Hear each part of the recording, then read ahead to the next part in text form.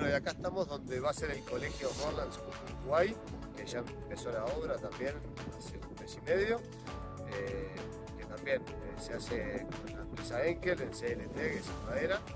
y va a estar comenzando las clases ya a fines de febrero del 2025.